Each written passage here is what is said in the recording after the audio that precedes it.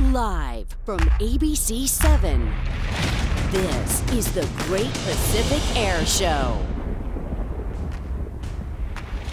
Hey, it's a weekend full of aerial excitement in Southern California with a celebration of the best in aviation. I'm Jovana Lara. And I'm Veronica Miracle. Thanks for joining us for this Eyewitness News special presentation of the Great Pacific Air Show over Huntington Beach.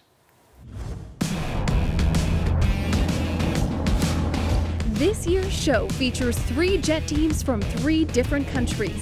The U.S. Air Force Thunderbirds, from Great Britain, the Red Arrows of the Royal Air Force, and the Canadian Forces Snowbirds. This is a very rare opportunity to see three air demonstration teams, three national teams all flying in one location. The Thunderbirds call themselves America's Ambassadors in Blue. The air demonstration team dates back to 1953. Today, they fly F 16 Fighting Falcons in formation in air shows and events around the world. We go all over the place, and our job is to show the taxpayer what exactly the Air Force is doing. The Red Arrows are finishing up a two month tour of North America. The British military air display team dates back to 1965, and the pilots show off their speed, agility, and precision with the Hawk T 1A. Everywhere we've gone, we've been received uh, really well. We get a great reception from our American audience here. Slightly different to what we get back at home. We're very polite in the UK. Everyone does, you know, polite clapping. Here we get much more energetic responses. You know, people whooping and hollering. It's, it's great. It makes us feel really proud, really, really welcome. The Snowbirds are the flight demonstration team of the Royal Canadian Air Force. Pilots show off their skills in the CT 114 Tutor, a jet used for decades to train Canadian Forces pilots. The three teams say taking part in a show like this demonstrates how the country's military forces work together every day. We built a friendship over the years with those guys, and uh, so to be able to, to be in one spot with those teams is pretty exciting. This is just the fourth year for the Great Pacific Air Show, and it's an event that's growing in popularity. We call it a family-friendly outdoor lifestyle festival because we really believe in getting families and friends outdoors, connecting them something new and different, getting them off of their phones and getting them focused on the inspiration that is aviation. More than 2 million people are expected to see the aerial acrobatics from Huntington Beach over the three-day event. Well, I love the military jets, all the military hardware, because it's, it's close to my heart, so I really enjoy it. Um, I really like warbirds, and I've done this for quite a while, and it, it just keeps getting bigger, so we come every year. I'm really interested in war and history, so I just wanted to come along. Flying, uh, aircraft, everything flying, you know, aviation is awesome. And just to see the, the pure power of, uh, of what we have you know, United States of America. I just love it. The show starts with a parachute jump by the SOCOM Para Commandos, the U.S. military's only joint service parachute demonstration team. It's really pretty to jump over the water, jump onto a beach. They're also jumping out of a World War II era C 47 Dakota transport plane. The Willa Dean is based out of Orange County's own Lyon Air Museum. This was a, a mixed crowd of airplane people, beach people, boat people, all at once, and the, the view is spectacular with the you know, sand and blue water and blue sky. Also on display, the past, present, and future of U.S. military aircraft used to protect our country now, flying in formation with vintage fighters dating back to World War II. And with weather that we have, it's incredible. yes, and that guy had it right. He said aviation is awesome, especially this kind of aviation. Absolutely. Well, when you think of air shows, you might picture death defying stunts. These pilots certainly have the guts and the skills to wow the crowds. And they're doing it in some custom modified planes. Eyewitness News reporter Anabel Munoz has their stories.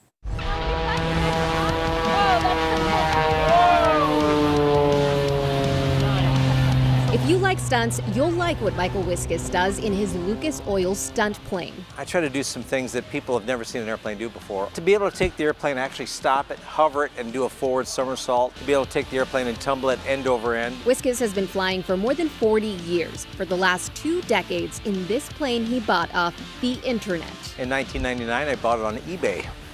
Totally destroyed, and I totally rebuilt it from the ground up Uh, redesigned the wings, did a bunch of stuff on the tail, made this my airplane. And there's no mistaking the color. It is uh, 1969 Corvette Hugger Orange. The Great Pacific Air Show is a highlight of his flying season. There's not much that's more beautiful than Huntington Beach. When you're looking from the uh, beach out to the pier on the right side and, and the water, be able to combine all that is spectacular. And when you see the Lucas Oil stunt plane send out streams of smoke, you'll smell something familiar. With my smoke oil, I throw Brut cologne in the smoke oil. So when I lay down a, a smoke on the ground and it rolls into the crowd, everybody starts to get brutified.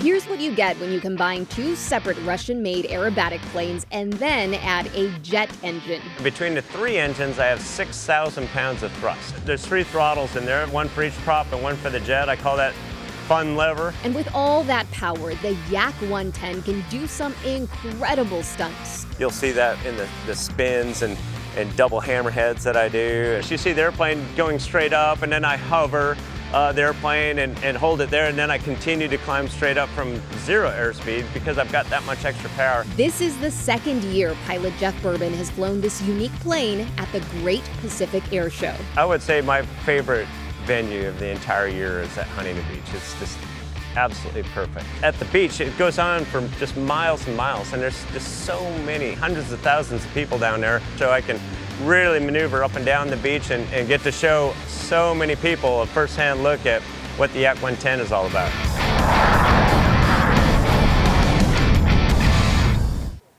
Wow. And check this out. This may be the future of how we get around town jetpacks. Yeah, the stuff of science fiction is reality this weekend at the Great Pacific Air Show. And Eyewitness News reporter Eileen Frere shows you what the jetpack men are doing. San Fernando Valley based Jetpack Aviation does a number of air shows per year. This is the first time at the Great Pacific Air Show. And for the first time at an air show, the company's pilots are performing with two jetpacks at the same time. We're going to have a race first of all, and then when we finish the race, I don't know who's going to win yet. So the whole plan is to know who's going to win, and we don't know, but he's the boss, so I don't think I will be. Uh, allowed to win. We will see.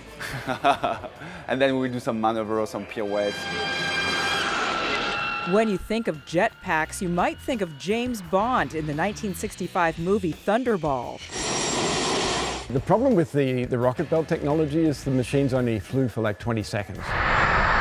These jetpacks can fly for 10 minutes, and Jetpack Aviation founder David Mayman says it's kind of like flying a motorcycle in the sky. And it's very intuitive. If you want to fly forward, basically you're just leaning forward and it goes that way. If you want to roll to the left, you kind of lean to the left. It's like a, a freedom. It's like you can see you are taking off, you are in the sky, you feel totally free, like you go where you want, it's three dimension. It's uh, it's, it's a very unique experience. People just love it because they've never seen like a person just stand there and take off and fly before and then come back and land exactly the same spot. That looks terrifying, Jovana. You it's did terrifying. this, right? You I did, do something similar to that, and you know what? It's not as easy as it looks. I not at all. Imagine. Okay, it's not uncommon to see planes do loop-to-loops at air shows, but a helicopter is a different story. Up next, we're talking to the pilots who's able to uh, pull off this stunt at the Great Pacific Air Show. And what it's like to be a passenger on board a military jet. A shark bite survivor thought this would be easy. Find out what she thought after the ride.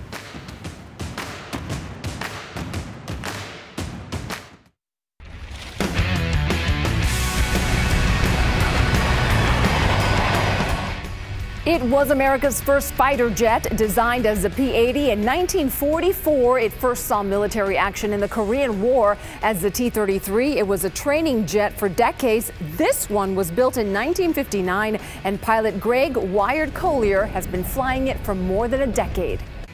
But I'll be putting the jet through its paces, uh, performing vertical rolls, loops, Cuban eight, high speed passes, aileron rolls, high, high G turns. Um, I'll, I'll demonstrate everything that jet's capable of doing. Colyer named his company Ace Maker after all the ace pilots the T 33 trained. And here's something to make you say, wow, a helicopter doing a full flip over the ocean just off Huntington Beach. Yeah, that's a helicopter. And it's not just any helicopter on display at the Great Pacific Air Show. There are stunts not for the faint of heart. Absolutely not. So, what does it take to make these barrel rolls and other maneuvers look easy? A lot of skill and a specially designed chopper.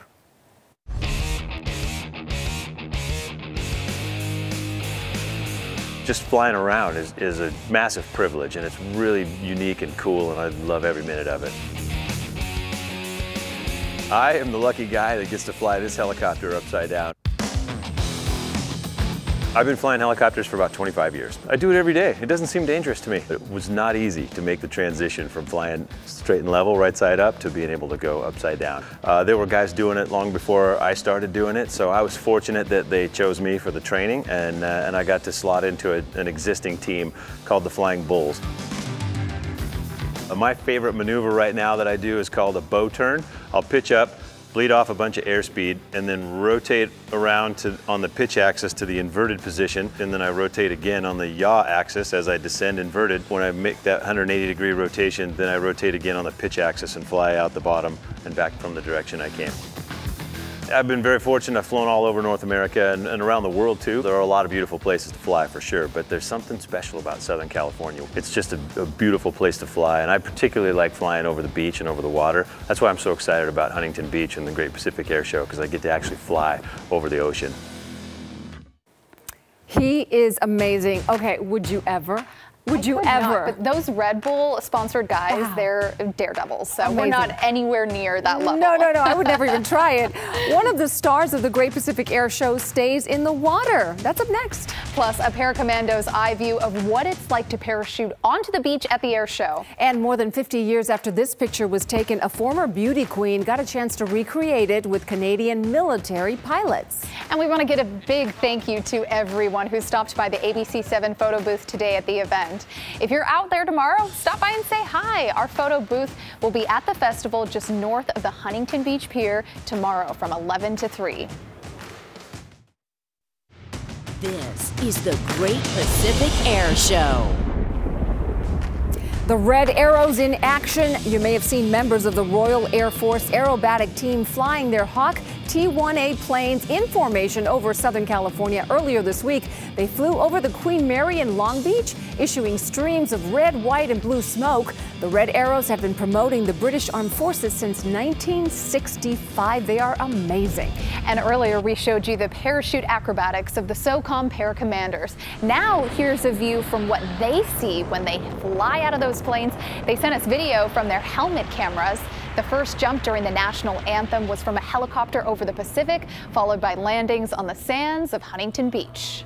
We're over the ocean and we fly in because how, how it works is we use wind.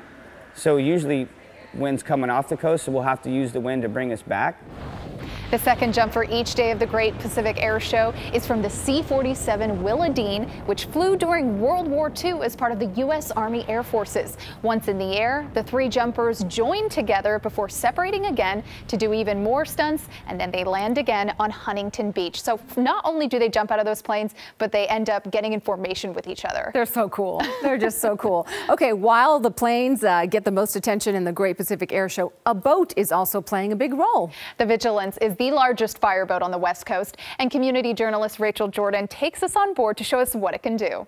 You can hear people, you know, the oohs and the ahs, and you can imagine what it looks like when you have 600 foot hose streams going out and 20 stories high, and a lot of people don't get to see that that often. So I'm here at the Port of Long Beach where I'm about to tour a $33 million boat, and I heard they're gonna let me drive it too. Let's go. Right now we're on Fireboat 15 at uh, Pier F in the Port of Long Beach. This boat its uh, sister ship are the largest fireboats on the west coast.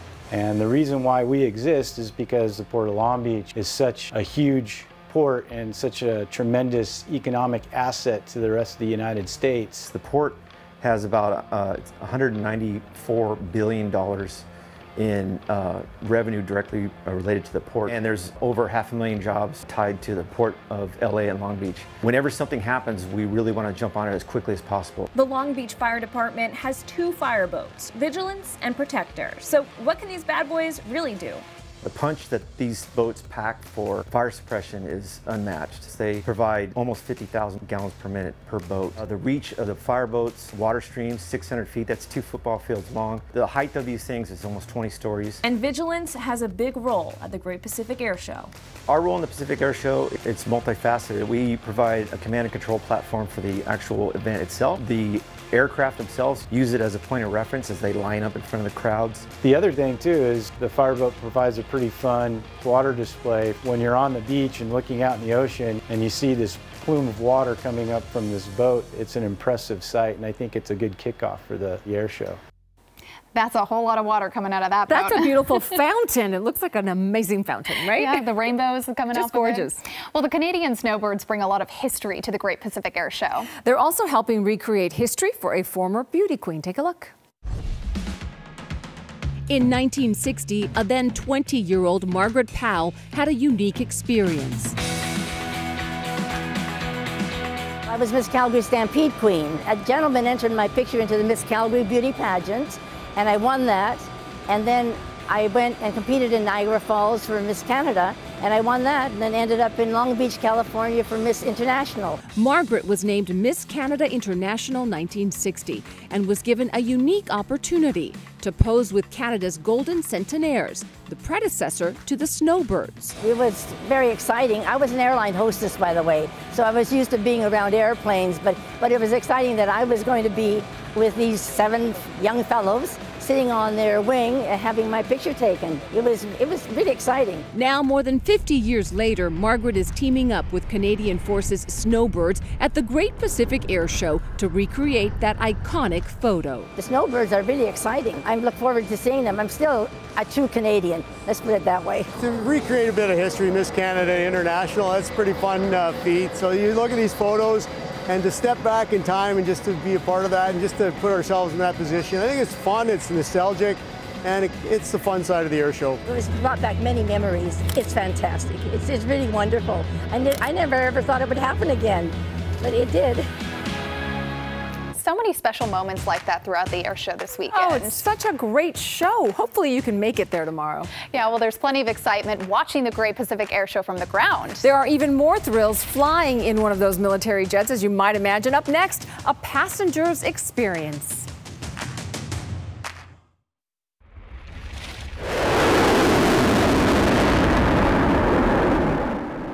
Demonstration on fighter speed, agility, and advanced stealth. That's the U.S. Air Force's F 35 Lightning II.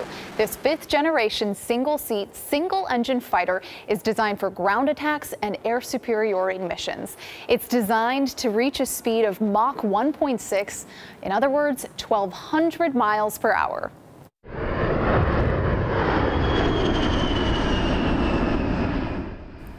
The U.S. Air Force is also showing off its Air Combat Command A-10C Thunderbolt II. The A-10 is commonly referred to by its nicknames of Warthog or Hog.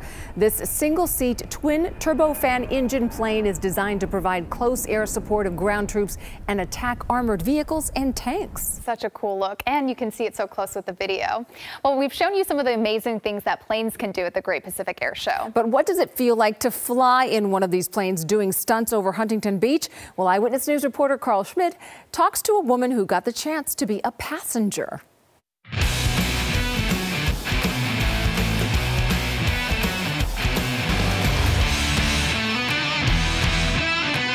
When the Royal Canadian Air Force hit me up and they said, Carl, we'd love to send you up with the Snowbirds for a sightseeing trip over Los Angeles, I said, absolutely no way. You're not getting me up in one of those planes with these amazing pilots, as skilled as they are. So in my place is Maria. She's a triathlete and also a shark attack victim. If she can handle a shark bite, this is easy.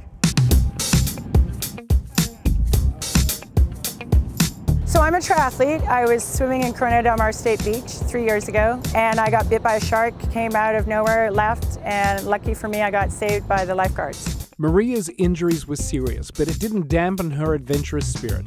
And now, fully recovered, she's about to take the flight of a lifetime. Uh, feeling good, a little nervous, but it's feeling really neat. We got life jackets on, we got parachutes on. We are in here. I believe these guys know what they're doing, and uh, I think it's going to be pretty cool. At the controls of Snowbird 7 is Pierre-Marc Deschenais, who's excited to be taking Maria along for the ride. I've heard her story, and she's definitely a warrior, so I'm sure she'll have no problem with the flight today. Pierre said we have a really good spot, so I'll get a good view of all the planes. So uh, we'll go a tour around LA, uh, we'll go see the Hollywood sign, come back on the shore, uh, Malibu, and through the Catalina Island. It's a once in a lifetime, just like getting bit by a shark.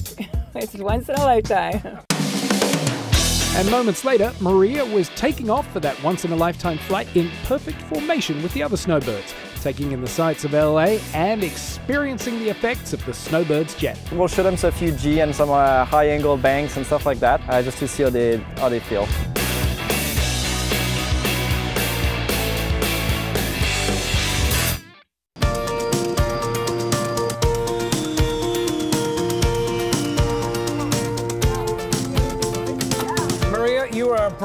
Woman than me.